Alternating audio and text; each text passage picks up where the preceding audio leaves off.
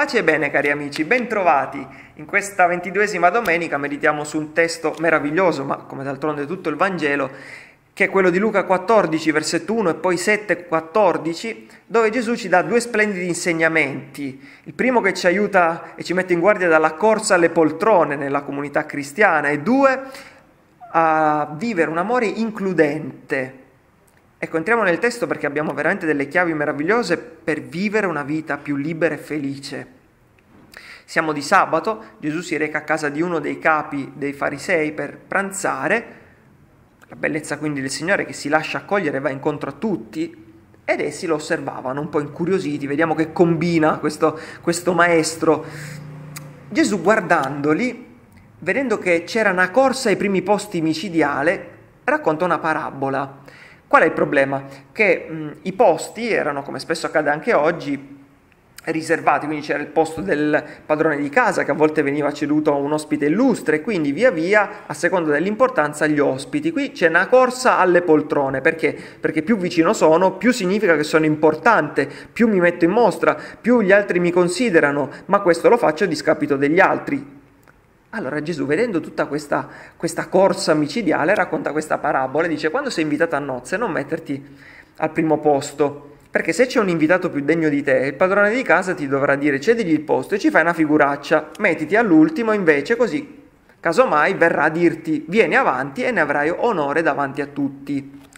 Di per sé questo detto, che sembrerebbe tra l'altro di, di, di Galateo conviviale, era già conosciuto nell'Antico Testamento e precisamente nel libro dei Proverbi 25.6 sta scritto non vantarti davanti al re e non metterti al posto dei grandi perché è meglio sentirsi dire sali quassù piuttosto che essere umiliato davanti a un superiore. Però se la comunità cristiana l'ha conservato e Luca ce lo ha trasmesso alla luce della vita del Signore, è perché c'è qualcosa di più. Infatti Gesù racconta una parabola che è ambientata ad un banchetto e il banchetto è un'icona proprio del regno di Dio, non soltanto il banchetto escatologico, quindi nei cieli mm, è un'immagine per dire la comunione piena che vivremo con Dio, il sedere a mensa con Abramo e via dicendo, ma è un'icona di come anche vivere qui la vita, diciamo così in semplicità, nella comunità cristiana, ma quindi la vita poi di ogni giorno. Allora, qual è il punto? Che Gesù qui, partendo da uh, un episodio di vita quotidiana, ci vuole mettere in guardia dalla ricerca sfrenata dei primi posti, dai desideri smaniosi di grandezza che diventano volontà, volontà, di primeggiare sugli altri, di ritenersi superiori, più meritevoli e giusti.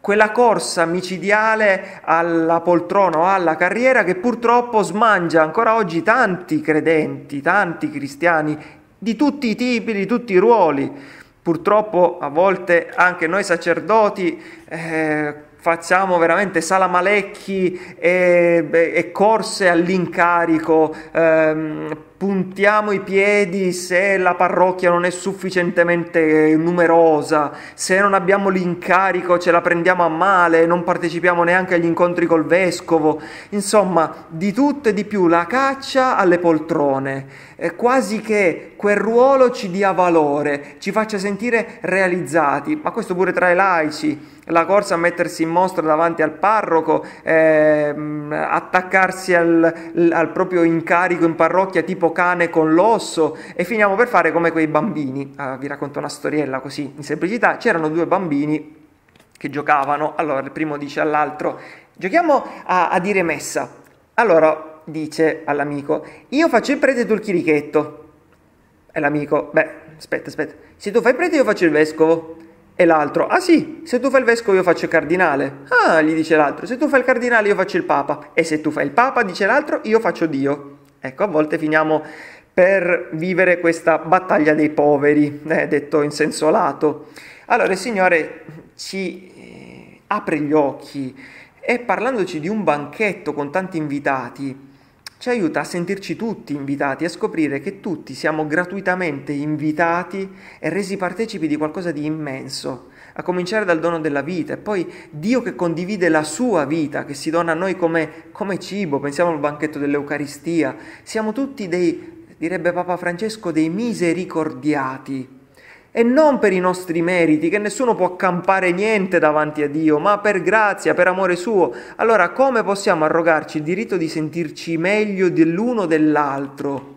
Ecco perché il Signore dice chiunque si esalta sarà umiliato e viceversa. Santa Teresina di Lisieux diceva quando in cielo si aprirà il libro della vita, ah quante sorprese! Chi pensavamo grande lo troveremo piccolo e chi è stato sconosciuto e nascosto sarà un grande santo. Il Signore dunque ci invita a prendere l'ultimo posto, in un certo senso, che tra l'altro è il posto che ha già occupato Lui, nel suo farsi uomo. Gesù nell'ultima cena, infatti, cosa ha detto ai suoi discepoli? Ha detto i re delle nazioni le governano e hanno potere su di esse. Voi però non fate così, ma chi tra voi è più grande diventi come il più giovane e chi governa come colui che serve. Infatti chi è più grande, chi sta a tavola o chi serve? Non è forse colui che sta a tavola? Eppure io sto in mezzo a voi come colui che serve.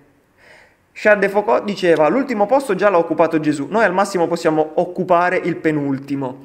Ora, qui qual è il punto? Perché, vedete, uno parlando di ultimo posto, di servizio, potrebbe ridurre la cosa un po' in maniera spiritualista, un po' così, un po' aerea. Il Signore sa bene che abbiamo desideri di grandezza, di cielo, di santità, ma lui viene a orientarli nel giusto verso. Infatti dice chi vuole essere grande si faccia ultimo e servo di tutti, cioè la vera grandezza non sta nel mettersi sopra gli altri, ma nel mettersi a servizio degli altri. Quindi il punto non è che io non mi debba realizzare nella vita, che non possa anche ricoprire incarichi, diciamo, importanti o essere una persona che è anche conosciuta o un professionista serio. Il punto è se io tutto ciò lo vivo eh, riducendo eh, il mio valore a ciò che faccio o se lo vivo come spadroneggiamento sugli altri o se lo vivo a servizio degli altri. Qui è il grande problema e qui è la grande, tra l'altro, realizzazione e felicità dell'uomo, cioè imparare a vivere nell'umiltà. Chi è la persona umile? È quella che sta con gli occhi verso terra, che si frusta e se ne dice di tutti i colori? No, è la persona, potremmo dire, che sa chi è davanti a Dio. È la persona consapevole dei suoi limiti e per questi non cade in depressione. È la persona consapevole anche dei suoi pregi e di questi rende lode a Dio, ma né si scoraggia per gli uni né si insuperbisce per gli altri, perché sa di essere ben piccolo davanti all'Onnipotente. Allora vogliamo chiedere al Signore che ci aiuti a vivere, a esercitarci nell'umiltà e a fare attenzione alla falsa umiltà, perché qui San Francesco di Sales c'è maestro e diceva Spesso diciamo che non siamo nulla, anzi che siamo la miseria in persona, la spazzatura del mondo, ma resteremmo molto male se ci prendessero alla lettera e se ci considerassero in pubblico secondo quanto diciamo. Ma è proprio il contrario. Fingiamo di fuggire di nasconderci solo perché ci inseguono e ci cerchino. Dimostriamo di voler essere gli ultimi, seduti proprio all'ultimo angolino della tavola, ma solo per passare con grande onore a capotavola. Vedete, l'umiltà vera non finge di essere umile e fa fatica persino a dire parole di umiltà. Evitiamo, tra l'altro, di dirle se non siamo disposti a viverle per davvero. Allora vedete, c'è qui una meravigliosa esortazione, in un certo senso, all'umiltà vera, profonda, autentica, quindi no a una caccia assurda ai primi posti a discapito degli altri, un grande no alla superbia che ci porta ad allontanarci da Dio e a gonfiarci come i palloni, con il rischio di far la fine della rana della favola di La Fontaine che per essere come il bue ingoiò talmente tanta aria che alla fine scoppiò. La seconda parabola, eh, mi, mi, soffermo meno, ma non perché è meno importante, è invece sullo stile da vivere eh, nelle relazioni con gli altri. Quando inviti, dice Gesù, non invitare solo amici, parenti, conoscenti, persone che possano darti il contraccambio. Al contrario, quando offri un banchetto, invita poveri, storpi, sopi, ge- eh, ciechi, tra l'altro gli ultimi tre erano pure considerati impuri, emarginati anche dal Tempio, dalla comunità credente di, dell'Antico Testamento, e sarai beato perché non hanno da ricambiarti, riceverai la tua ricompensa quando? Alla risurrezione dei giusti. Qual è qui l'invito del Signore? È quello a uscire da una logica del dare per ricevere, dal curare solo il proprio orticello e far sentire di casa gli ultimi, i poveri. Ecco perché un bravo biblista diceva Silvano Fausti, non limitiamoci all'interno di un amore interessato e di una concezione chiusa della vita. Oggi io do a te, domani tu dai a me. E i poveri restano sempre fuori e gli esclusi sono sempre esclusi. Il Vangelo ci chiama a una fraternità con due caratteristiche molto chiare, la gratuità e l'universalità. Si dà anche a coloro dei quali non si può sperare nulla in cambio.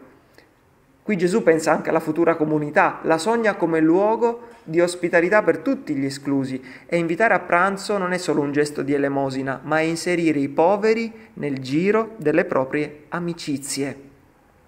Vogliamo allora veramente interrogarci se questo no alla corsa ai primi posti e questo sì ad accogliere gli ultimi sono uno stile di vita che anzitutto viviamo noi, io, tu, eh, e seconda cosa, se questo è lo stile che viviamo nelle nostre comunità e se qualora così non fosse, bene, preghiamo e diamoci da fare perché le nostre comunità possano essere davvero come Gesù le ha sognate e che alla fine è come ognuno di noi è chiamato a vivere, sì da essere felice. Pace e bene e buon cammino a tutti.